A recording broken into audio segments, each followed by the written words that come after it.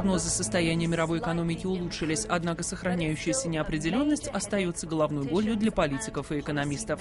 Международный валютный фонд находится, если можно так сказать, на передовой борьбы с кризисом. И для того, чтобы обсудить уже сделанное и проанализировать стоящие перед экономикой вызовы, к нам присоединилась директор-распределитель МВФ Кристин Лагард. Госпожа Лагард, спасибо за эту беседу.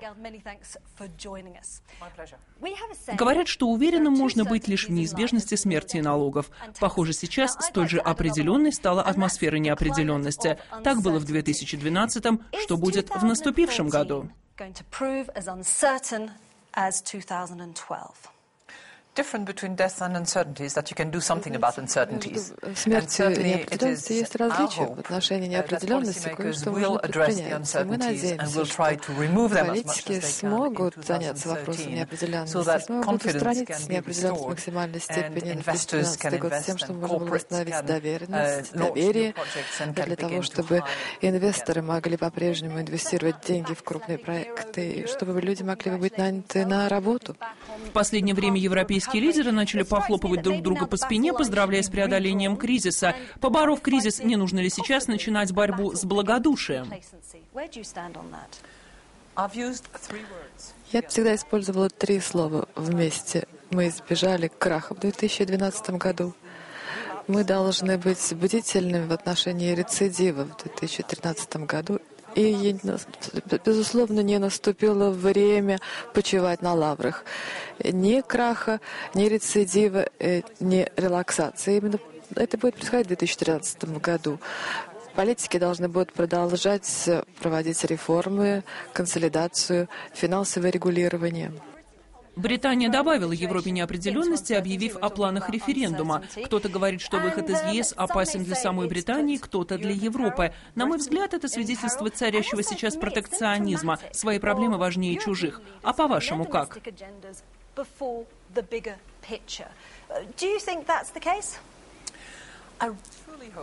Я здесь реально надеюсь на то, что Европа будет действовать обычным образом, она будет избегать барьеры, э, препятствия, э, диспуты, конфликты и выйдет из этого всего вместе и сильнее. Я реально надеюсь на это.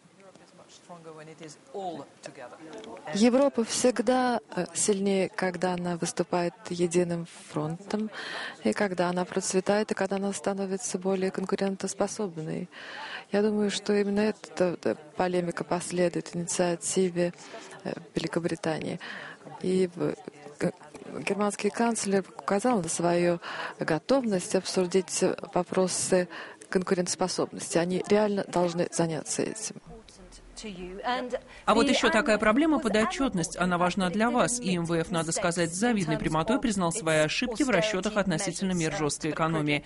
Но эти ошибки коснулись миллионов людей. В Греции, например. Не должен ли фонд как-то ответить за эти ошибки?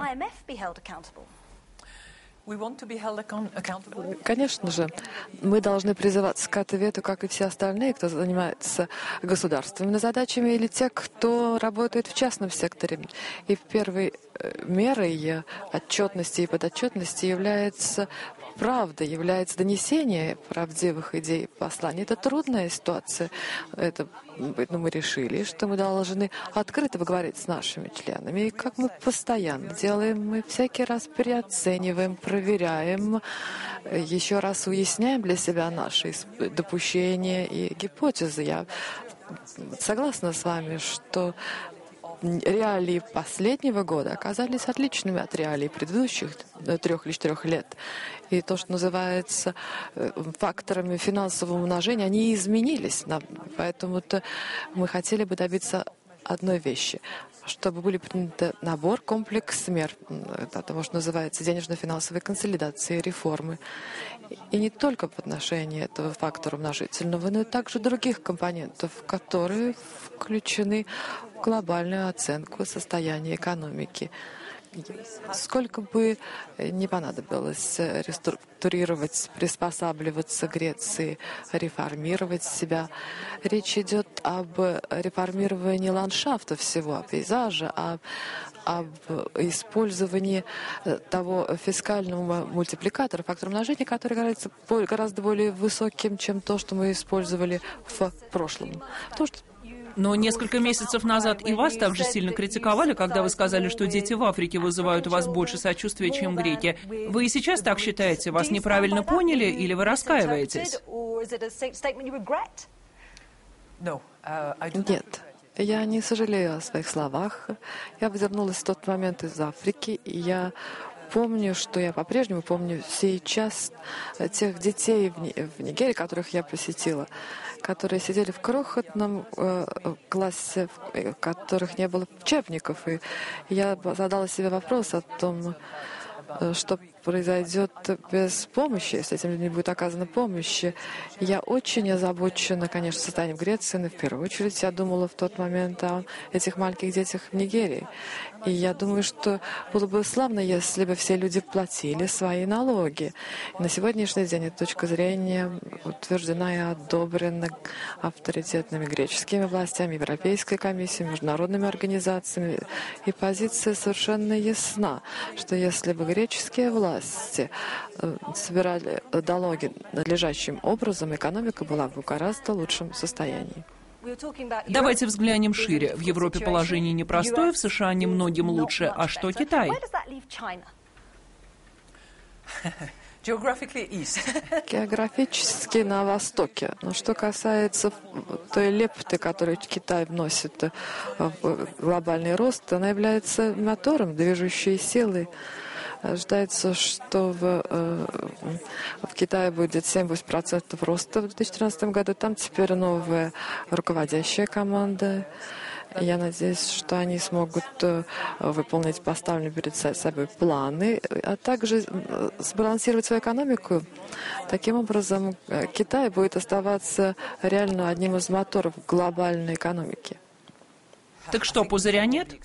Я думаю, что мы должны быть чувствительно бдительными в отношении пузырей, в том, откуда они могут возникнуть, особенно когда речь заходит о недвижимости, потому что недвижимость в совокупности с финансовым кризисом может стать реально катастрофичной.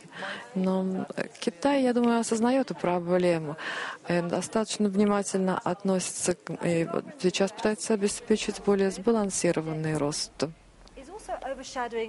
В США сейчас много говорят о фискальном обрыве, о потолке госдолга, но забывают о большей проблеме массовой безработицы. Не забываем ли мы о проблемах реальных людей? Я прежде всего поделилась бы с вами наблюдением о том, что ситуация с безработицей в Соединенных Штатах становится лучше в том, что касается цифр. Эти цифры сейчас приближаются к 7%. Это достаточно большое улучшение. Но в целом безработица остается, конечно, огромной проблемой. На сегодняшний день 202 миллиона, по данным МОД, являются безработными в мире. Это огромная проблема во всем мире для, для всех стран, для семей, в которых есть безработные. И, естественно, это вызывает у нас огромное беспокойство. И поэтому на, на этом компании должна и э, концентрировать свое внимание. Нужно убедиться в том, чтобы рост продолжался, продолжался в 2013 году, может быть, постепенно, но продолжался. И чтобы это восстановление экономики сопровождалось созданием рабочих мест.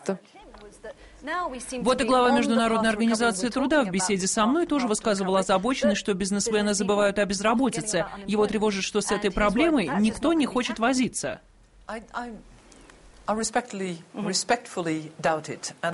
Uh, Позволю себе усомниться в этом, при всем моем уважении. Я буду всячески работать вместе с ним над тем, чтобы это не случилось, потому что сам по себе рост не решит глобальные проблемы сбалансированного роста, э, устойчивого роста, инклюзивного роста, которые, как мы все знаем, являются неотъемлемыми атрибутами роста. Если у вас не будет рост сопровождаться созданием рабочих мест, то, естественно, у вас не будет инклюзивности. Поэтому, конечно же, создание рабочих мест, это трудоустройство остается в центре нашего внимания. Удостоверимся, что именно так это и будет происходить. Но и безработица создает социальную нестабильность, в особенности среди молодежи. Как будут обстоять дела в этом году?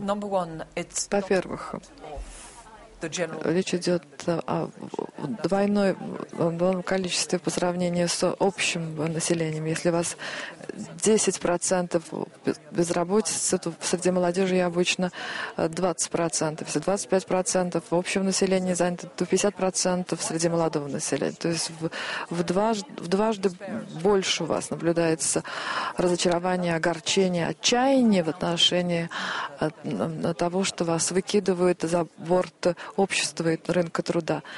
И, и тут, конечно же, должно стать основным принципом нашим, основным чаянием. Общество должно отвечать за свою молодежь, за то, чтобы они получали образование, за то, чтобы они получали доступ к рынку труда. И это, естественно, связано с рабочими местами, созданием рабочих мест. В Давосе вообще много говорят о рисках и угрозах. Некоторых мы коснулись. А что бы еще вы хотели выделить? Вас, с одной стороны, есть географические зоны, такие как Соединенные Штаты, где существуют большие проблемы среднесрочного сокращения долга, э, бюджетного дефицита. У вас Япония, где на сегодняшний день пока не решаются э, вопросы бюджетного дефицита надлежащим образом. У вас есть еврозона, где строительство, реконструкция и пересмотр архитектуры всего региона продолжается. У вас есть Ближний Восток, который проходит через огромные преобразования, огромные конфликты, которые вызывают перемещение населения, беженцев. И ясно, что это вносит определенную лепту нестабильности в экономическую зону. У вас есть территориальные проблемы, которые связаны с дефицитом ресурсов. Все это те риски, которыми мы должны заниматься, которые мы должны устранять на основе доброй воли и сотрудничества. Я думаю, что мы должны больше всего рассчитывать на сотрудничество не просто, чтобы страны заботились о том, как они могли бы решить свои собственные внутренние вопросы, о том, как это воздействует, сказывается на окружающем мире, и как мы можем извлечь для этого наибольшую и наилучшую отдачу для всех. Ну и, наконец, в Давосе вы сами говорили о равенстве полов. Вас лично в прессе называют и очаровательной, и соблазнительной, и даже чуть ли не садистом. Говорят, ваши любимые карикатуры на вас же саму изображают вас в чулках в сеточку и с кнутом, которым вы хлещете банкира. Это вообще правда? Я думаю, да, это вот карикатура 2008 года еще. А насколько важно чувство юмора в мужском мире бизнеса и финансов? Это совершенно незаменимо в мире, не просто в мужском мире или населенном мужском мире, Потому, потому что я не думаю, что мир был уже только для мужчин или только для женщин. Мы там вместе проживаем, и я думаю, что мы должны объединять наши усилия. И мы не должны воспринимать себя слишком серьезно. И оставлять всегда в себе резерв чувства юмора. Это этот голос внутри себя, который призывает вас быть чувствительными, быть смиренными. Но чувство, чувство юмора совершенно незаменимо. Спасибо вам.